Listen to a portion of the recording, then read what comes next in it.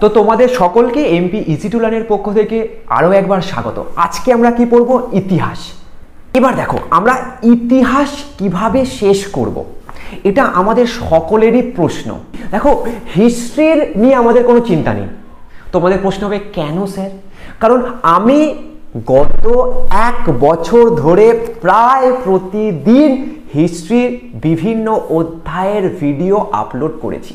তোমরা জাস্ট একটু প্লেলিস্টে দেখবে যেখানে তোমাদের কীভাবে নাইনটি পারসেন্ট হিস্ট্রিতে পাবে।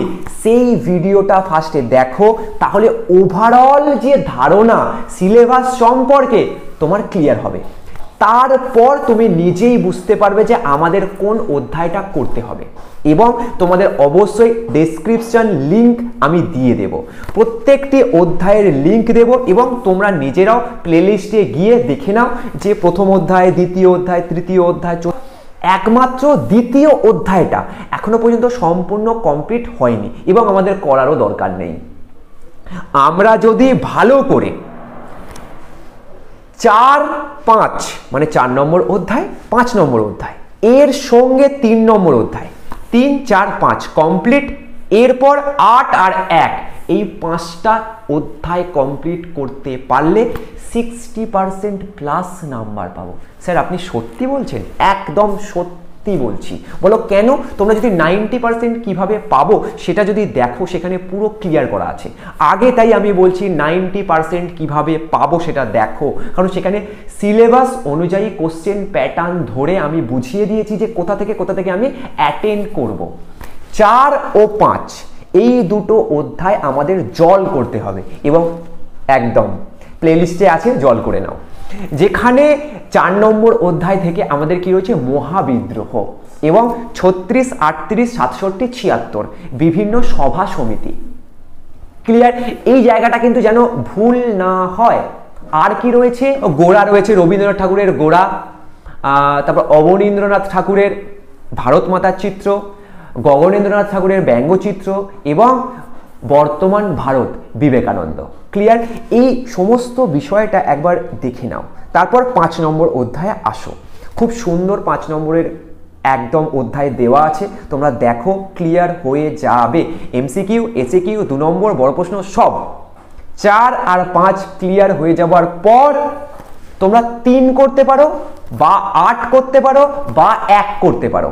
আমি বলব তিন করে নাও, যেখানে বিদ্রোহগুলো রয়েছে।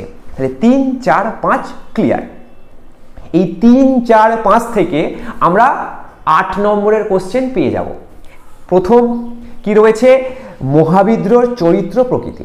ক্লিয়ার তারপর দ্বিতীয় চ্যাপ্টারে কি রয়েছে? নীল বিদ্রোহ।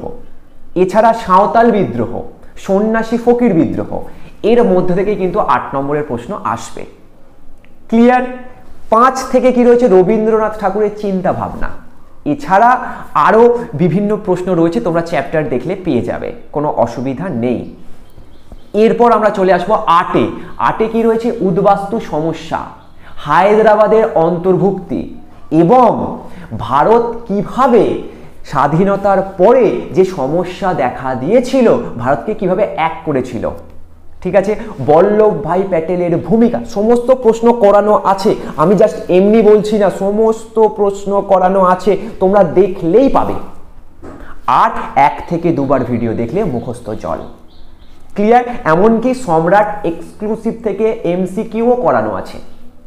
আর ভিডিও দেখলে তোমাকে এমসিকিউ আলাদা করে পড়তে হবে না, তোমার অটোমেটিক হয়ে যাবে। ক্লিয়ার তো আট করলাম, তারপর আমরা এক করব। একে কি রয়েছে? সরলা দেবী চৌধুরী রানীর জীবনের ঝরাপাতা।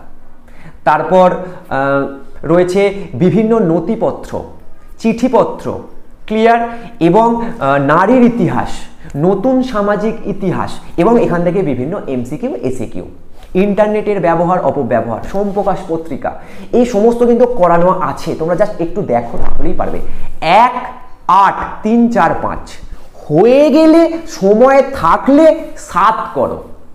ক্লিয়ার সাত হয়ে যাওয়ার পরে যদি সময় থাকে, তাহলে দুই করো, যতটুকু আমি কমপ্লিট করেছি। এছাড়া যদি এক্সট্রা মনে করো, করবে, করতে পারো। তারপর একদম শেষে ছয় নম্বর অধ্যায় করতে পারো। আর যদি মনে করো যে করব না, তাহলে করতে হবে না। তবে একবার পুরো বইয়ের মানে ছ নম্বর অধ্যায়েরও এমসিকিউটা করে নেবে। দু নম্বর প্রশ্ন না পড়তে পারো। ক্লিয়ার দেখো দু নম্বর চ্যাপ্টার, ছ নম্বর চ্যাপ্টার আর সাত নম্বর অধ্যায়। এখান থেকে দু নম্বরের প্রশ্ন না পড়লেও চলবে। তবে তুলনামূলকভাবে সাত নম্বর চ্যাপ্টার সহজ দু নম্বরের জন্য। বাকিগুলো তুমি করছ। মানে বাকি পাঁচটা চ্যাপ্টারের। এক, তিন, চার, পাঁচ, আট।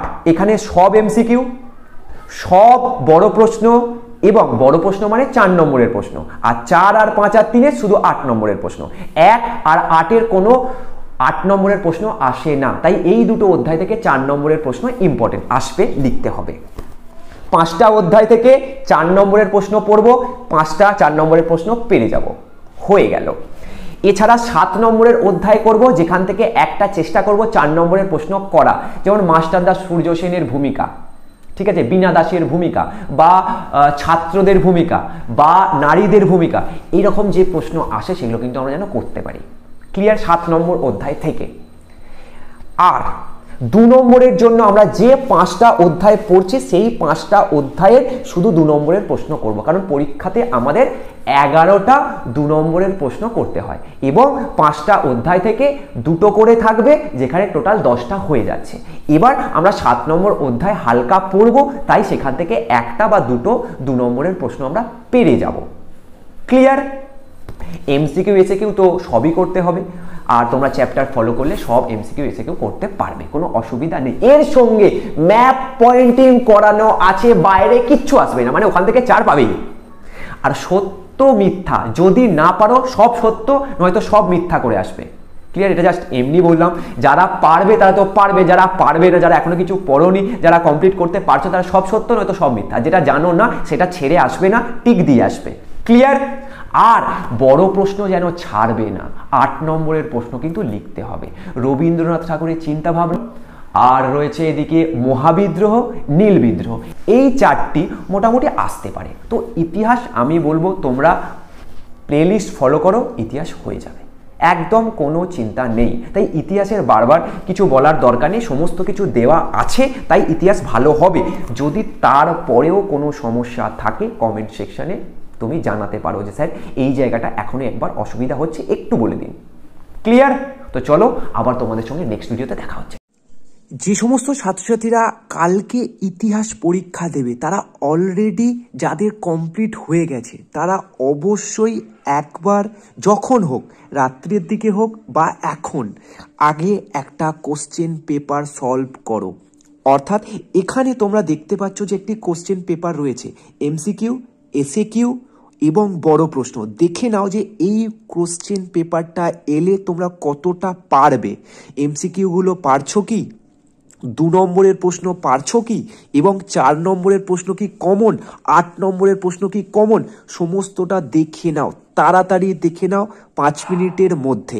ক্লিয়ার এই প্রশ্নপত্রটা পারলে একবার পরীক্ষা দিয়ে নাও।